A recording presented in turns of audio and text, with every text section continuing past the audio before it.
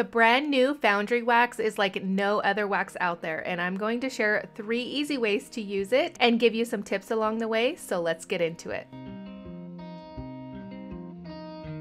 I'm going to start off by using some Ranger Black Alcohol Ink cardstock. I'm going to spritz the back with some water and emboss it with a 3D embossing folder. The wax is liquid and you need to shake it up until you hear the ball moving around. I take a tiny bit of the Statue Foundry wax and put it on my gloss mat and I'm going to put a little bit on my finger. I'm going to lightly rub some over the raised areas. You have to work quickly because the wax is liquid and it dries fast. A little bit goes a long way and although the embossed image is coming to life, the magic happens when when you heat it up. It only requires a little bit of heat, but the heat brightens the wax and makes it almost look like gilding. After the wax is heated, it's permanent. The card was looking a little bland, so I decided to add some splatters. I'm not 100% sure if we're supposed to be splattering with the wax, but I did it anyways. To add even more interest to the card, I cut out three circles from the embossed panel, and then I popped them up with some foam tape. For this next technique, I wanted to see if I could paint on the wax and just leave brush strokes. I had to work really fast, but it did work. This first color I'm using is Statue.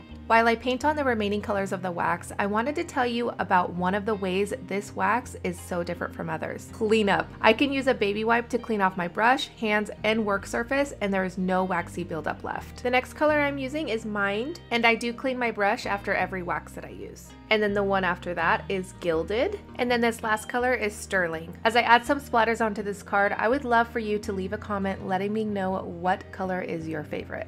Here is the best part. When heat is introduced to the wax, it brightens everything up. And the best way I can describe this is, you know when you use microglaze over distress stains, how it just brightens everything up? That's what heat does to the waxes. I cut down the panel to 4 by 5 and a quarter and added a sticker sentiment, and then I'm going to add that to my card base. And even though this card was so simple to make, there's something about the metallic on the black that's so striking.